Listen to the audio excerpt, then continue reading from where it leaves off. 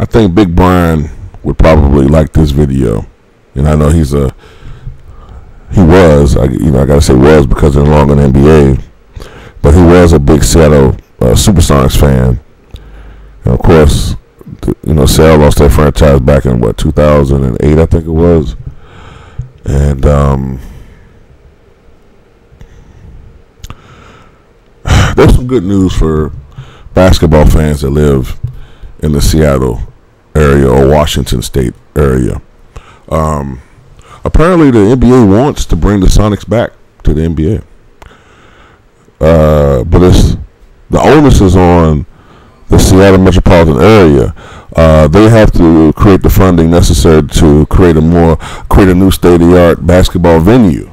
When they get that out of the way, and they get that completed, and that new stadium erected, then very soon the NBA will bring the Seattle Supersonics back to the NBA.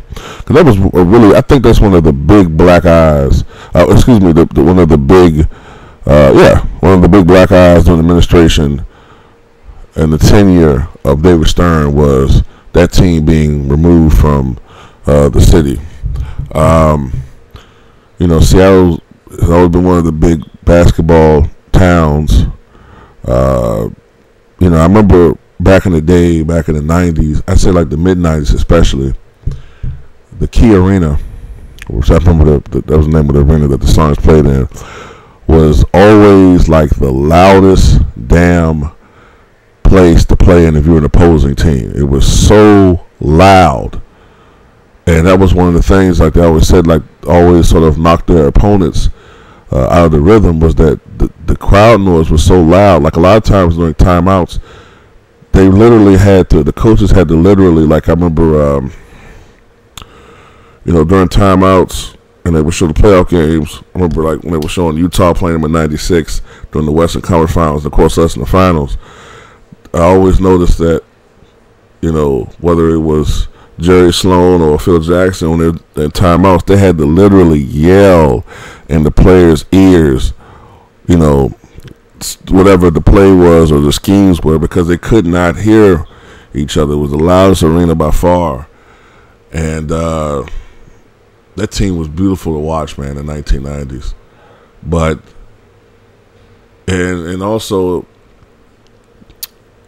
it doesn't kind of make it doesn't make a lot of sense because as far as why Seattle can't get this done is because they've upgraded uh, stadiums for other teams, other teams that are in the area, such as the Seattle Mariners and the Seattle Seahawks.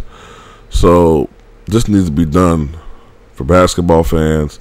I'm assuming when and if this occurs, what will happen is that the Seattle Supersonics will just take the identity and, and the back history that's from the Thunder. The Thunder, the Oklahoma City Thunder, just become a completely original franchise, and all of the back history, which is attributed to this, the Thunder now, would go to that Seattle Supersonics team, and I'm assuming that's what will probably happen. But it will be nice to see the Seattle Supersonics back, and also NBA, if you guys bring them back, don't change their fucking uniforms, okay? Don't give them one of these ugly ass you know, you know, don't don't change the goddamn uniform. Just keep it the way it was. All right. But those are my that's my thoughts on. Tell me what you guys think.